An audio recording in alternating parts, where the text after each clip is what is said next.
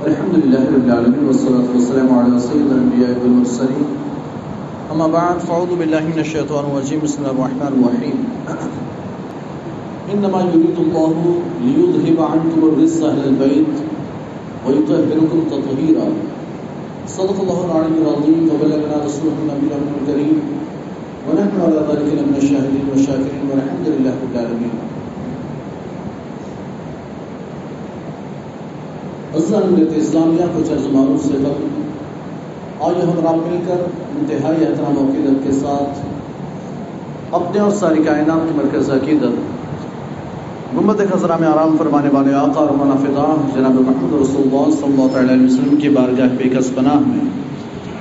जुम जुम कर दुरुद पाक का हदिया चौका बाज बुलंद पढ़े। मुहम्मद इबादत वल करम वालिदिल कराम बारिक वसल्लम सलातु व सलाम अलैहि या रसूलुल्लाह सल्लल्लाहु अलैहि वसल्लम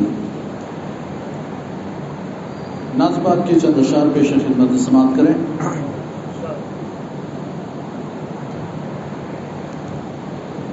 सरवर कहूँ के मालिक मौला सरवर कहूँ के मालिक मौला कहूँ तुझे। बाग खलील का गुल जैबा कहूँ तुझे। बाग खलील का गुल जैबा कहूँ तुझे। सरवर कहूँ के मालिक मौला कहूँ तुझे। अल्लाह तेरे जिस्म मुनव्वर किताबिशे अल्लाह तेरे जिस्म मुनव्वर किताबिशे अल्लाह तेरे जिस्म मुनव्वर किताबिशे ऐ जान जाम जान तजल्ला कहूँ तुझे। ऐ तजल्ला कहूँ तुझे। मुजरिम हूँ अपने अफब का सामा करूँ शहा। मुजरिम हूँ अपने अफब का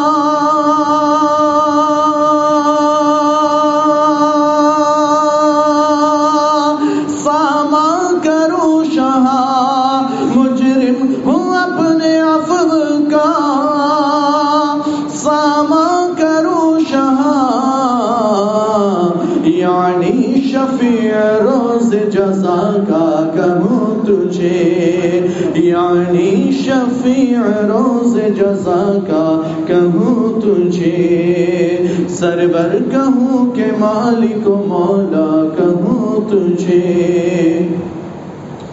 तेरे तो पास ऐब तनाही से है बरी।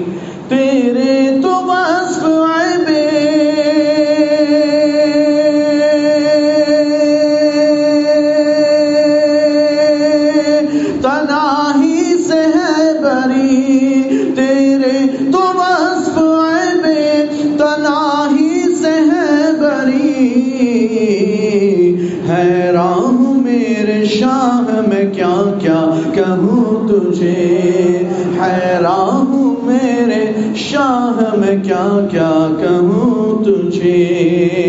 कह लेगी सब कुछ उनके सनाखा की खामोशी। कह लेगी सब कुछ उनके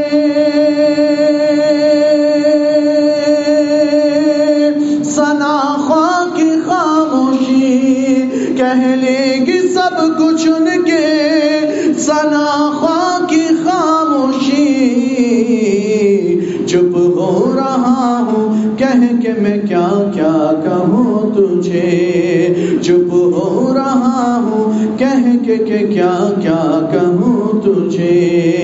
लेकिन रजा ने खत्म सुखन इस पे कर दिया। लेकिन रजा ने खत्म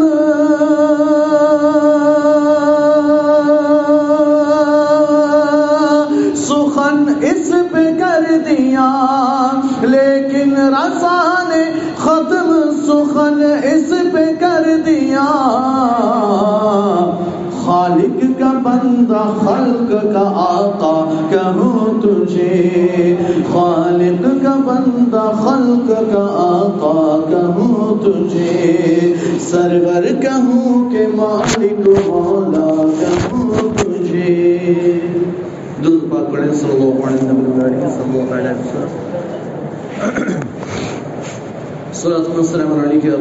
सल्लल्लाहु अलैहि वसल्लम।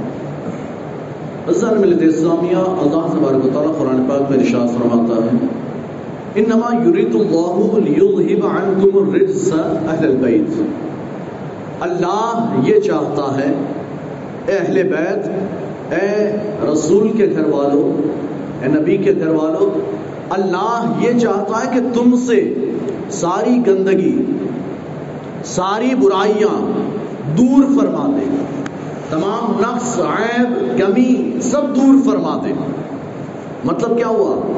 रब ये चाहता है ए रसूलुल्लाह के घर वालों रब ये चाहता है कि तुम कामिल बन जाओ। तुम कामिल बन जाओ। तुम में ना कोई बुराई हो, न कोई गंदगी हो, न कोई नजासत हो, न कोई बुरी बात हो, न कोई गुनाह का काम हो, न कोई गुनाह की बात हो। कुछ भी ना हो, तुम वैसहिरकुम ततहीरा, अल्लाह तुम्हें खूब साफ़ सुथरा फरमा दे। अल्लाह तुम्हें खूब साफ़ सुथरा पाक फरमा दे, बिल्कुल पाक। तमाम खबासतों नजासतों से पाक। हालाँकि ये अहले बैत, जिनकी तहारत का अल्लाह ने इरादा फरमाया, अल्लाह ने उन अहले बैत को पहले ही से बहुत सी चीज़ों से पाक रखा है।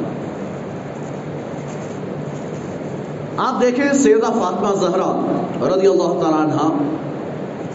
आपको कभी हैज़ जो माहवारियाती औरतों को हर महीने नापाकी का खून हत फातिमा जहरा को कभी नहीं आया।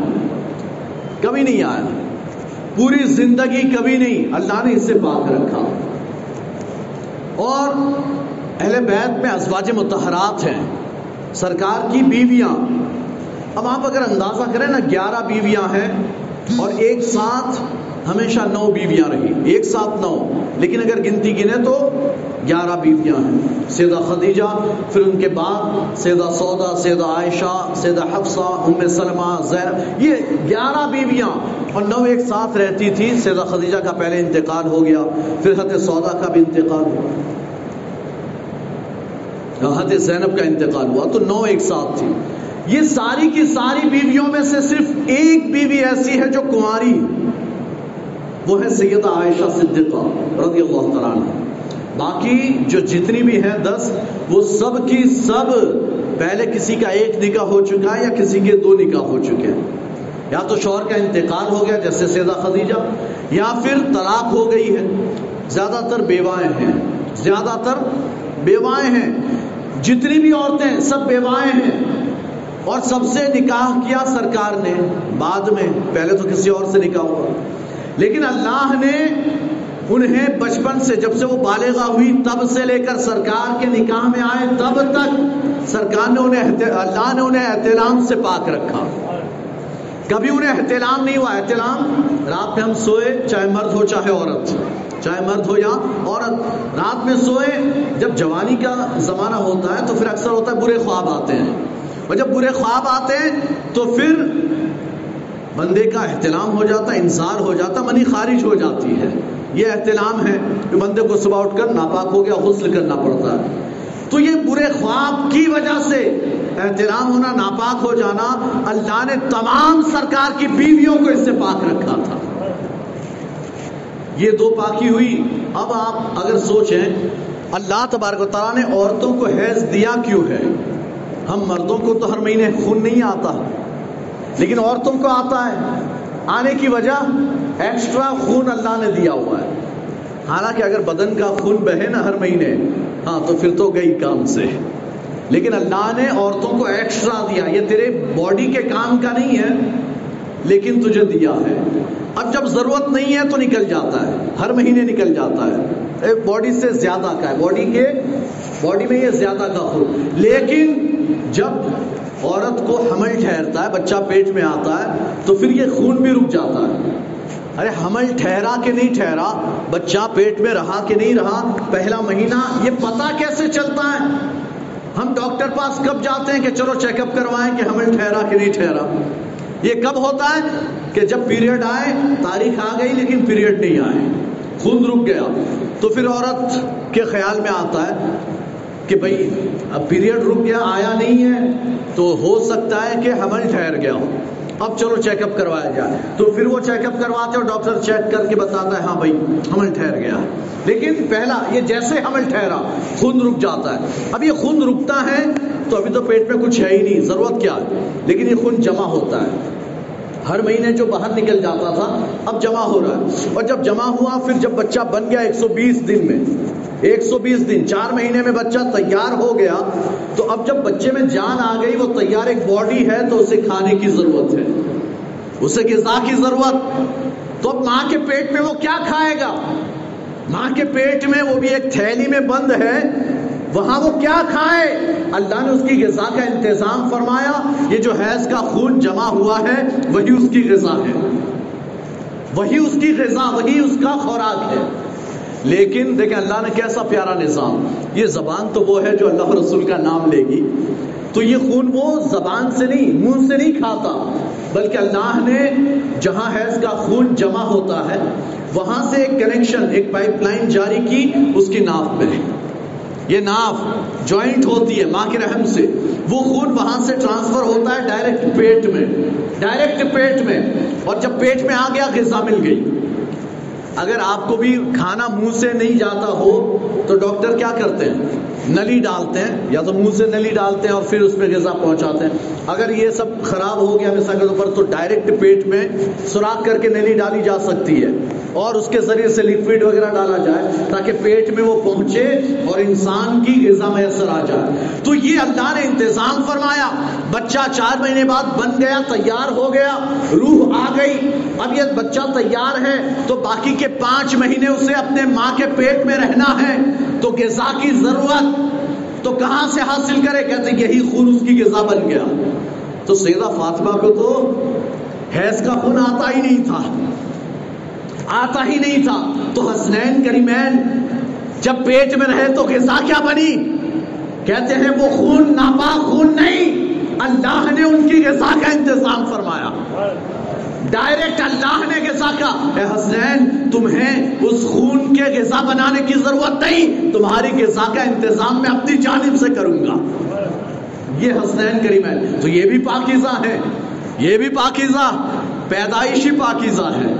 और फातमा जहरा को जब हसनैन की, इमाम हसन पहले पैदा हुए, बाद में हुसैन पैदा हुए, इमाम मोहसिन पैदा हुए, तीन औलादें पैदा हुई, उसके बाद बेटियाँ भी पैदा हुई, लेकिन किसी भी पैदाइश के बाद औरत का हाल ये होता है, पैदा हो गया बच्चा तो फिर खून जारी हो जाता है। वो जो जमा हुआ था, जमा था, थोड़ा बहुत बच्चे की गिजा बना, बाकी सब सेफ़ था, बचा हुआ था। तो बच्चे की पैदाइश के बाद अब वो निकलना शुरू हो जाता है। तो उसे हम कहते हैं निफास निफास। अब ये कभी किसी को एक महीना, पंद्रह दिन, चालीस दिन और किसी को चार महीना चालीस दिन, ज़्यादा मुद्दत, चालीस दिन आता है। अब ये ज़रूरी नहीं कि चालीस दिन ही आए। ये एक मसला आप लोग याद कर लें, आप अपने घर में आपको काम आएगा। बच्चे की विलादत हुई, उसके बाद लोग क्या करते हैं? औरतें क्या करती हैं? चार, यानी चालीस दिन तक वो नापाक की नापाक ही रहती है। यानी नहाती धोती है, लेकिन वो कहती है, मैं तो नापाक हूँ, नमाज़ नहीं पढ़ सकती, मैं तो ये नहीं कर सकती, वो नहीं कर सकती। चालीस दिन के बाद चालीस दिन बाद फिर वो गुस्ल करती है और गुस्ल करने के बाद अब नमाज़ पढ़ना शुरू करेगी। ज़रूरी नहीं कि हर एक को औरत को चालीस दिन आए। नहीं, हो सकता किसी को दस दिन, पंद्रह दिन, बीस दिन में बंद हो जाए। जैसे ही बंद हुआ, गुस्ल कर नमाज़ पढ़। गुस्ल कर नमाज़ पढ़। चालीस दिन के इंतज़ार की ज़रूरत नहीं है। अच्छा और एक खराबी, और ये खराबी वो है कि जो इस्लाम आने से पहले जमाने जाहिलियत में कुफार मुशरकिन के यहाँ थी आज 1400 साल हो गए, इस्लाम आया, इस्लाम ने वो सब खराबी अरब में मिटा दी। लेकिन 1400 साल बाद हिंदुस्तान के मुसलमानों में वो खराबी मौजूद है, बाद मुसलमानों में। वो खराबी क्या? जब 40 दिन गुजर गए तो अब उसके 40 दिन गुजरने के बाद कहते हैं कि ये और अच्छा ये 40 दिन जो गुजार रही है ना तो उसमें उसका बिस्तर अलग, उसका कमरा अलग, उसके बर्तन अलग, सब सब अलग कर दिया। और कभी हम लोग चले भी जाते हैं, बच्चा बीमार है, दम करना है, हज़रत आ जाए और हज़रत तशरीफ़ ले गए। और जब गए तो अगर हम वहाँ, यानी बच्चा वहाँ जहाँ बिस्तर पर है, अगर हम बैठना चाहे नहीं, हज़रत वहाँ मत बैठिए, वहाँ मत बैठिए। क्यों? इसलिए कि वो तो उस औरत का बिस्तर है ना, वो तो नापाक। भाई, नापाक सिर्फ़ वो जगह होगी जहाँ वो खून लगेगा। पूरे बिस्तर में तो लगा नहीं है तो पूरा बिस्तर पाक। है ना, माए होती है ना, सासू माँ हाँ तो वो अपने बच्चे को भी नहीं बैठने देती, है? वो उसके पास नहीं बैठने का, अलग बैठे अलग बैठ। अरे, क्या ज़रूरत है? इसकी कोई न बर्तन अलग करने की ज़रूरत, न कपड़ों की अलग करने की ज़रूरत। अब 40 दिन जब हो गए तो जो जमाने जमाने जहालत का जो उसूल था, जो कायदा रिवाज था, वो क्या था? कि घर को कलर करते थे। आज भी कुछ कुछ मुसलमानों के यहाँ ये रिवाज है। चालीस दिन हो गए। भाई वो चालीस दिन हो गए, पाक हो गई है। अब पूरे घर के बर्तन धो। पूरे घर के बर्तन धो साफ़ सफ़ाई करो, कलर करवाओ। कि चालीस दिन हुए हैं। अब घर को भी पाक करना है। अरे तेरा घर नापाक हुआ ही नहीं। तो ज़रूरत नहीं है। हाँ कलर करवाना अच्छी बात है। अगर ज़रूरत है आपके घर को कलर करवाने की तो आप करवाएँ। लेकिन वो कभी भी करवाया जा सकता है। चालीस दिन हुए, इसलिए करवाना, ये समाने जाहिलियत की बात है। हाँ और शोहर के मरने के बाद भी अगर इस तरह का रिवाज शोहर मर गया, अब वो इद्दत में बैठी है। तो जब चार महीने, दस दिन गुजर गए, अब उसके बाद कहते हैं कि अब उसके बाद ये सारे काम करो, अब उसे ये करना है, वो करना पहले तो उससे सजाते सवारते ठीक है, सजाए, सवारे, कोई बात नहीं। सज संवर सकती है, लेकिन ये कोई फर्जो वाजिब नहीं है। बूढ़ी औरतें जो है उसके सर पर सवार हो जाती नहीं ये करना ही पड़ेगा, ये करना ही पड़ेगा। फिर उसे जो है, एक यानी वो अच्छा इद्दत में बैठती है तो एक कोना पकड़ कर बैठती है। और मशहूर है, आसमान नहीं देख सकती। इद्दत में औरत आसमान चाहे तलाक की इद्दत हो, मौत की इद्दत हो, आसमान नहीं देख सकती। इसलिए खिड़कियाँ भी बंद। बंद कमरे में पर्दा लगाकर बैठ गई। पर्दा लगाने की ज़रूरत नहीं है, कोना पकड़ने की ज़रूरत नहीं है, सिर्फ़ और सिर्फ़ गैर महरमों के सामने न आने की ज़रूरत है। गैर महरम के सामने ना आए। अब वो चाचा का जो लड़का होता है ना, चाचा का लड़का कजिन भाई, वो भी गैर महरम है। खाला का लड़का, वो भी गैर महरम मामा का लड़का, वो भी गैर महरम अब अगर चाहिए चालीस साल की है, मामा का लड़का बीस साल का, तब भी वो गैर महरम है। पंद्रह बीस साल का। तो बहरहाल, उससे हमें पर्दा करना है। तो पर्दे का हुक्म ये है कि गैर महरमों की निगाह ना पड़े। आसमान अगर नज़र आता है, कोई फ़र्क नहीं पड़ता। आसमान नज़र आए कोई फ़र्क नहीं पड़ता।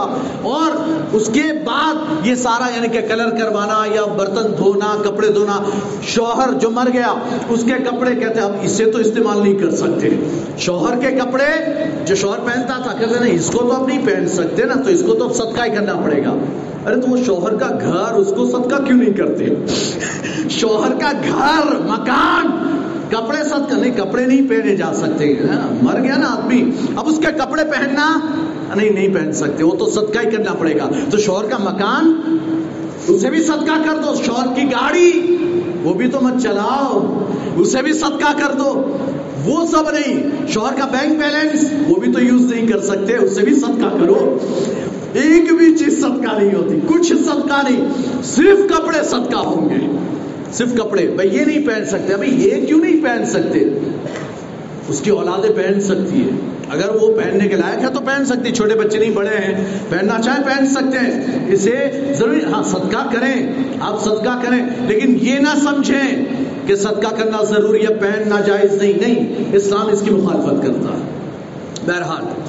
तो अब हद फातमा जहरा रज़ी अल्लाह जब हसनैन पैदा हो गए या आपकी जितनी भी औलादे हुई तो हैज़ तो था ही नहीं। तो निफास का भी कोई सवाल पैदा नहीं होता। तो बच्चा पैदा होने के फ़ौरन बाद आप पाक हो जाती थी। बच्चा पैदा हुआ, आप गुस्ल करती नमाज़ पढ़ती। इसलिए कि वो है ही नहीं। न हैज़ आता है, ना निफास आता है। दोनों से पाक है। बुरे ख्यालों और बुरे ख्वाबों से भी आप पाक। तो ये अल्लाह तबारक ने अल्लाह के रसूल के अहले बैत को अल्लाह के, रसूल के, अहले बैत को घर वालों को अल्लाह ने साफ़ सुथरा फरमा दिया है। पाक रखा। अब इस आयत मुबारक में इन नमा युरिदुल्लाहु ये अहल बैत। कहते कि अहले बैत कौन है? मुफसरीन के दो कौल हैं। अब मुफसरीन भी इधर उधर के, नीचे के बाद के नहीं, सहाबा। हत अबू सईद खुदरी सहाबा में से, अबू सईद खुदरी रज़ी अल्लाह और ताबईन में से, अबू सईद खुदरी के शागिर्द हत कतादा रज़ी अल्लाह ये दोनों कहते हैं, इन दोनों का कहना है कि यहाँ अहले बैत से मुराद पंजतन पाक है।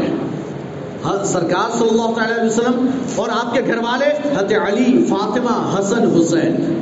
हत अली फातिमा हसन और हुसैन, ये है।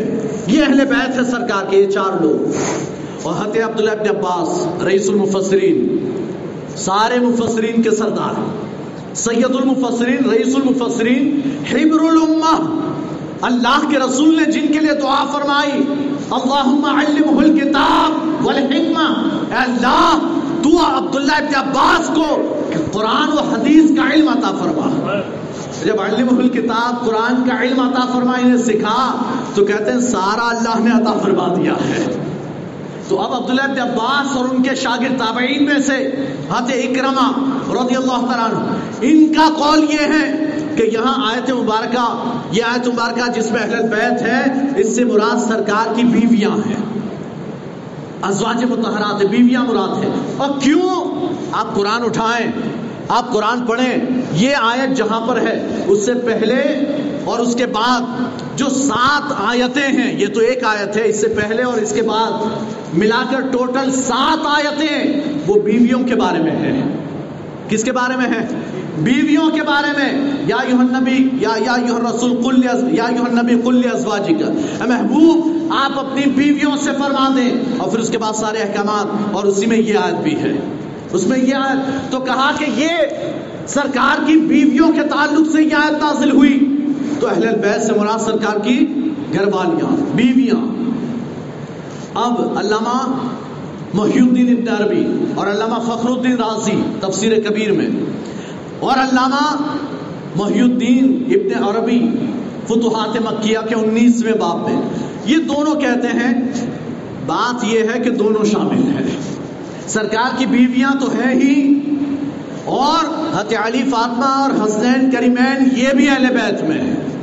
और अहले बैत में कौन कौन कहते हैं कि चाहे वो बैत नसब वाले हों, नसब सरकार के नसब वाले हों, चाहे बैत सुकना घर वाले हों, और सरकार के घर में अजवाज मुतरात बीवियाँ हों तो बैत सुकना वाले हों, चाहे चाहे बैत विलाजत वाले हों, यानी कि जो इनके खानदान में पैदा हुए वो सब वो सब हो, कयामत तक के सादात, वो अहले बैत में मुराद है।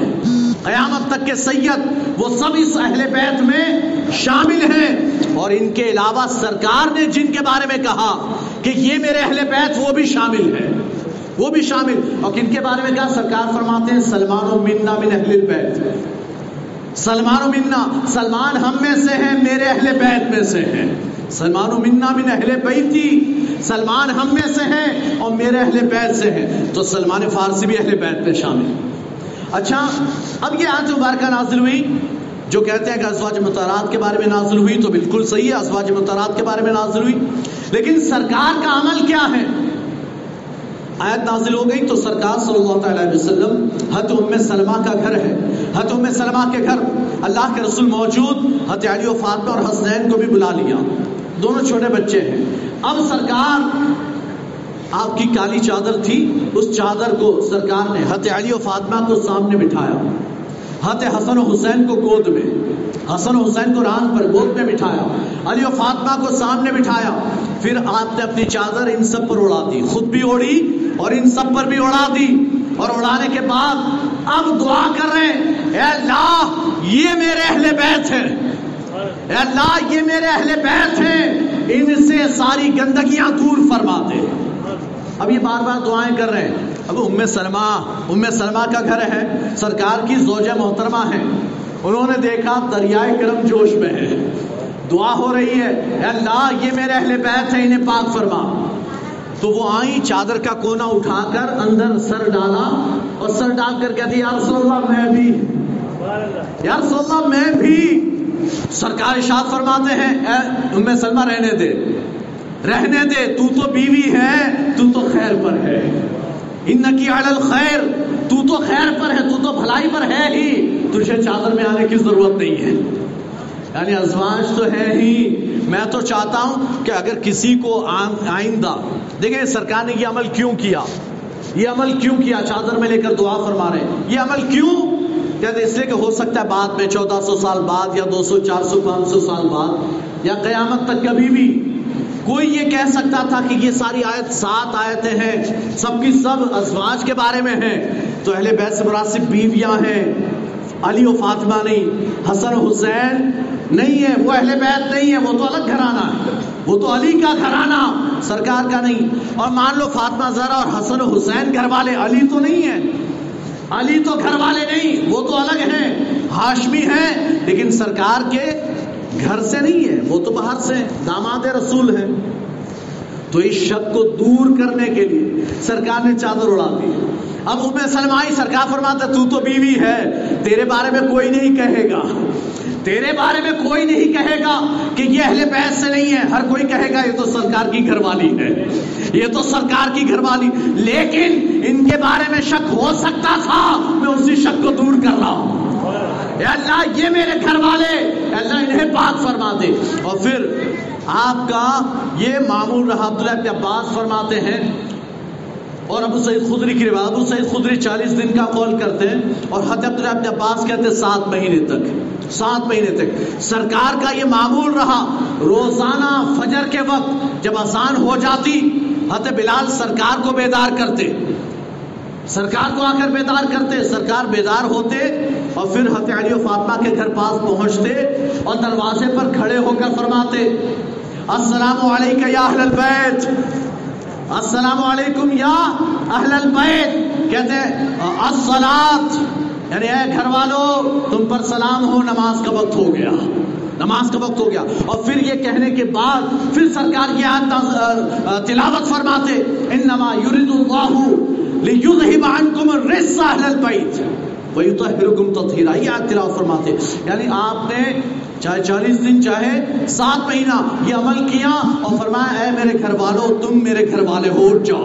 फजर की नमाज़ के लिए उठ जाओ। ये सरकार का अमल फिर अल्लाह के रसूल सल्लल्लाहु अलैहि वसल्लम, अब ये सारे अहले बैत में सब शामिल हो गए। मान लिया हमने अजवाज भी हैं और अली और फातमा हसनैन भी हैं हत सलमान फारसी भी हैं। ये सरकार दुआ कर रहे हैं तो हते वासिला अस्का अल्लाह सहाबी रसूल हैं सुफ़ा में से। मस्जिद के बाहर जो चबूतरा बना हुआ, आज भी वो चबूतरा मौजूद है। तो ये चबूतरे पर बैठने वाले, जिनका कोई घर बार नहीं, कुछ नहीं, खाली हाथ है, किसी ने खिला दिया तो खाया, नहीं खिलाया तो भूखे रह गए, वो वासिला वासिला इब्न का वो बाहर, मस्जिद नबी के बाहर है। और वहाँ से उन्होंने देखा रास्ते से। सड़क से अंदर देखा कि मैं सलमा के घर में आज रहमतों का नजूल हो रहा है। तो वहीं से आवाज़ लगाई, या रसोल्लाह मैं भी आपके अहले बैत से, मैं भी आपके अहले बैत से। सरकार ने इरशाद फरमाया हाँ ए वासिला, तू भी मेरे अहले बैत से है। तू भी मेरे अहले बैत से तो सरकार ने इन्हें भी बशारत दे दी। तो अब ये सब अहले बैत से हैं। सब शामिल हो गए। लेकिन जब भी जब भी सरकार ने अहले बैत को खास फरमाया, अहले बैत को याद फरमाया तो सिर्फ़ और सिर्फ़ अली और फातमा और हसनैन के रिबैन थे। ये चार थे। हदीस मुबारका में आता है नजरान के नसारा। नजरान एक जगह का नाम है, वहाँ के नसरानी ईसाई। ये ईसाई आए, सरकार की बारगाह में, मदीना मुनवरा आए। चाहते ये हैं कि हम मुनाजरा करें। अब मुनाजरा किस बात पर? मुनाजरा बात खबर मिल गई थी कि ये मुसलमान और उनका ये नबी, ये ये कहते हैं कि हत ईसा अलैहिस्सलाम अल्लाह के बेटे नहीं है, अल्लाह के बंदे हैं। अल्लाह के बंदे, ये खबर मिली। तो आए हैं मुनाजरे के लिए। और मुनाजरा करना है कि अल्लाह हत ईसा अल्लाह के बेटे हैं। जब आए, आकर कहा कि हम आपसे मुनाजरे के लिए आए। सरकार ने कहा, बोलो, किस बात पर मुनाजरा करना है? उन्होंने कहा, आप ये कहते हो कि ईसा अल्लाह के बेटे हत ईसा, ये अल्लाह के बंदे हैं? सरकार ने फरमा हाँ ईसा अल्लाह के बंदे, उसकी रूह और उसका वो कलमा है जो अल्लाह ने मरियम की जानब इल्का फरमाया। हत मरियम की जानब डाल दिया, वो कलमा है। है ना? ये कलमे कुन है। हत ईसा को कलमे कुन से पैदा फरमाया। हाँ कुन हो जा तो ईसा हो गए, बगैर शोहर के, बगैर बाप के। तो हद, नसारा कहते हैं कि आपको पता नहीं ईसा बगैर बाप के पैदा हुए। उनका तो कोई बाप नहीं। तो पता चला अल्लाह के बेटे हैं। सरकार ने फरमाया तो अच्छा ये बताओ, आदम अलैहिस्सलाम तो बगैर माँ बाप के। ईसा कहते तो सिर्फ़ बाप नहीं, माँ तो है। आदम के तो माँ भी नहीं, बाप भी नहीं। उन्हें अल्लाह का बंदा कहते हो, उन्हें अल्लाह का बेटा नहीं मानते तो फिर ईसा, उनकी माँ तो है। अगर अगरचे बाप ने सही, सरकार ने बड़ी वाज बात फरमा दी कि आदम जो बगैर माँ बाप के हैं, उन्हें अल्लाह का बंदा कहो, बेटा ना कहो। और ईसा इस्लाम वो तो माँ वाले हैं, बगैर बाप के, लेकिन माँ तो है। उन्हें कैसे अल्लाह का बेटा कह सकते बहरहाल, वो नहीं माने। तो फिर अल्लाह तबार जब नहीं माने तो अल्लाह ने आयत मुबारक नाजिल फरमा दिया। महबूब, इन्हें फरमा दो। ये यानी इल्म आ गया, आपने दलील दे दी, तब भी मानते नहीं है। तो महबूब इनसे फरमा दो, फकुल तालो नजू अबनाना व अबनाकुम व निसाना व निसाकुम व अनफुसना व अनफुसकुम। सुम्मा नबतहिल सुम्मा नबतहिल महबूब इनसे फरमा दीजिए, आओ तालो आ जाओ। देखे चैलेंज हो रहा है। चैलेंज है, आ जाओ। और इसीलिए अगर बद मज़हब बद मज़हब जो दीन इस्लाम के अकायद के खिलाफ हो, अगर उससे मुनाजरे का चैलेंज करें तो फिर ये अल्लाह की सुन्नत है। बहुत से लोग हमारे, जो हमारे सुन्नी भाई ना बहुत से ऐसे हैं, जो कहते हैं, क्या मौलाना, छोड़ो उनको, उनके हाल पर रहने दो। क्या चैलेंज करना, क्या मुनाजरा करना? रहने दो। वो भी कलमा पढ़ते हैं, हम भी कलमा पढ़ते हैं, वो भी नमाज़ पढ़ते हैं, हम भी नमाज़ पढ़ते हैं। बहुत बड़ा फ़र्क है। बहुत बड़ा फ़र्क है। हाँ वरना तो सरकार के दौर में भी कुछ लोग ऐसे थे जो मस्जिद नबवी में सरकार के पीछे नमाज़ पढ़ते थे। सरकार के हाथ पर हाथ रखकर उन्होंने कलमा पढ़ा था। अशद व इन का अशद मोहम्मद कलमा भी पढ़ा था। और आकर कहते हम गवाही देते आप अल्लाह के रसूल हैं। रब क्या फरमाता है? इधर जाकर मुनाफिकुन, कालू नशहद का रसूलुल्लाह। ये मुनाफिकिन आपके पास आकर कहते हैं, हम गवाही देते हैं कि आप अल्लाह के रसूल हैं। अल्लाह फरमाता है, वल्लाहि अशहदु अल्लाह गवाही देता है कि आप अल्लाह के रसूल हैं। वलाकिन मुनाफिकीन लकादिबून लेकिन मुनाफिकीन बड़े झूठे हैं। क्यों झूठे हैं? बात तो सच्ची कह रहे हैं। आप अल्लाह के रसूल हम गवाही देते कि आप बात सच्ची है, लेकिन मुनाफिकीन झूठे हैं। वो अपने दिल से नहीं कहते, सिर्फ़ ज़ुबान से कहते हैं। तो कहने का मतलब ये सुन्नत है, अल्लाह की सुन्नत, रसूलुल्लाह की सुन्नत। अब चैलेंज हो गया, तालो, आ जाओ। नजरुआ बनाना सरकार फरमाते हैं, अल्लाह कुरान में फरमाता है, और सरकार उन्हें ये सुना रहे हैं, आ जाओ, हम अपनी औलादे लेकर आते तुम अपनी औलाद ले आओ। हम अपनी औरतें लाते हैं, तुम अपनी औरतें लेकर आओ। और हम खुद भी आएँगे, तुम खुद भी आ जाओ। फिर उसके बाद तुम मनब तहिल फिर हम मुबाहला करें। अल्लाह की बारगाह में हम रो रो कर गिरिया उजारी के साथ दुआ करें। और फिर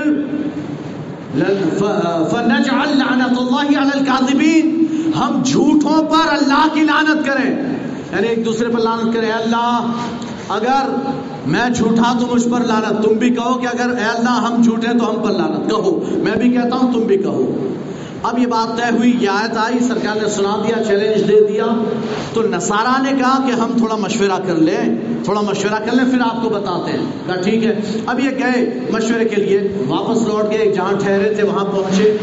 तो इन्होंने अपने बड़े पादरी अब्दुल मसीह, आकिब, उसका नाम आकिब था। उसे अब्दुल मसीह कहा जा, उससे पूछा, अब्दुल मसीह, बताओ तुम क्या कहते हो? उसने कहा, जानते हो, तुम सब जानते हो, वो रसूल बरहक है। वो रसूल बरहक है, ये तो हम जान गए हैं। अब अगर तुमने मुबाहला किया, ये चैलेंज कबूल किया तो हाल ये होगा, पूरी दुनिया से ईसाइत मिट जाएगी। पूरी दुनिया से ईसाइत खत्म हो जाएगी। अगर अपने आप को ईसाइत पर बाकी रखना है और ईसाइयों को बाकी रखना है तो मुबाहला मत करो। उसने उन्होंने कहा, ठीक है, चलो हम कल मना कर देंगे और टैक्स देने पर राज़ी हो जाएँगे, कहेंगे कि हम टैक्स देंगे। हमको मुनाजरा नहीं करना। कहा, ठीक है। अब दूसरे दिन निकले तो सरकार इधर आ रहे हैं, तशरीफ़ ला रहे हैं। किस हाल में? अली और फातमा हत अली साथ में है, पीछे फातिमा चल रही है और साथ में इमाम हुसैन गोद में है और इमाम हसन हाथ उंगली पकड़े हुए चल रहे हैं। सरकार की। इस शान के साथ आ रहे उधर से नसारा आ रहे अब्दुल मसीह आकिब कहता है ईसाइयों, ए लोगों, सुन लो, मैं ऐसे चेहरे देख रहा हूँ। मैं ऐसे चेहरे देख रहा हूँ। अगर इन्होंने दुआ की और इनके साथ वालों ने उनकी दुआ पर आमीन कहा तो हम पर अजाब नाजिल हो जाएगा। अगर वो दुआ कर दे कि अल्लाह, तू पहाड़ को अपनी जगह से हटा दे तो अल्लाह पहाड़ को भी हटा देगा। अल्लाह पहाड़ भी हटा देगा। तो मैं कहता हूँ बच कर रहना। बच कर रहना हाँ। दुआ वगैरह मुनाजरा करना मत। अब जब पहुँचे, सरकार फरमाते, तैयार? उन्होंने कहा, नहीं, हमको मुनाजरा नहीं करना। हाँ हम टैक्स देने पर राज़ी हैं। हम टैक्स देने पर राज़ी हैं। सरकार इशाद फरमाते, अल्लाह का अजाब, अल्लाह का अजाब नजरान की बस्ती के करीब आ चुका था। अगर वो मुनाजरा कर लेते अगर मुबाहला कर लेते तो आग बरसती, उन पर अजाब आता, वो सब के सब हलाक हो जाते। और ये तो हलाक होते फ़ौरन, ये तो फ़ौरन हलाक होते। सरकार फरमाते, एक साल के अंदर अंदर पूरी दुनिया से ईसाइयत का खात्मा हो जाता। एक साल में पूरी दुनिया से ईसाइत का खात्मा हो जाता। लेकिन इन्होंने चालाकी की। ये समझ गए कि अगर मुबाहला किया तो हम खत्म हो जाएँगे। इन्होंने अपने वजूद को बचाने के लिए टैक्स देना कबूल कर लिया। तो ये अल्लाह के रसूल ने इस मौके पर भी जो अहले बैत को हम अपने बच्चे लेकर आए तो कौन बच्चे आए हैं? हसनैन करीमैन इमाम हसन हुसैन आए। सरकार ने बता दिया, ये मेरे बच्चे हैं। ये मेरे बच्चे हैं। और फिर हम अपनी औरतें लेकर आए, तुम अपनी औरतें लेकर आना। सरकार किस औरत को लेकर आए हैं? फातिमा जहरा को। फातिमा जहरा को बता दिया, मेरे घर खानदान में जो औरत मुझसे सबसे ज़्यादा करीब है, वो मेरी बेटी फातिमा है। वो फातिमा है। और हम खुद आए तो खुद आने में, तुम खुद आना, हम खुद आए। खुद आने में कौन आए? खुद सरकार आए और अली को लेकर आए हैं। अली, मैं तुमसे, तुम मुझसे हो। हम में कोई फ़र्क नहीं है। तो खुद को लाने में, आप भी आए और अली को भी लेकर आए। ये शान अहले बैत अहले बैत की शान है। कुछ और बातें इंशाल्लाह आइंदा कल अहले बैत की शान में बयान की जाएगी। अल्लाह तबारक ताला अहले बैत की मोहब्बत हमारे सीनों में, है ना, हमेशा कायम दायम रखे और हमें बुग्ज अहले बैत से महफूज फरमाए। बाखुर अल्लाह वरहमल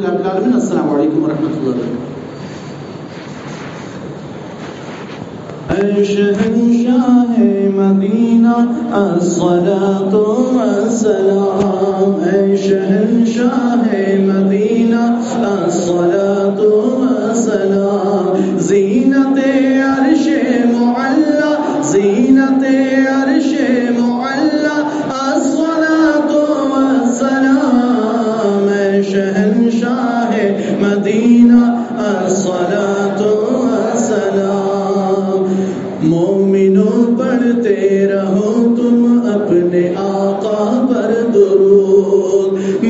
मोमिनो पढ़ते रहो तुम अपने आका पर दुरूद। है फिरिश्तों का वजीफा, है फिरिश्तों का वजीफा। असला तो असलाम शहनशाह मदीना असला तो असलाम मैं वो सुन्नी जमीले कादरी मरने के बाद। मैं वो सुन्नी हूँ जमीले कादरी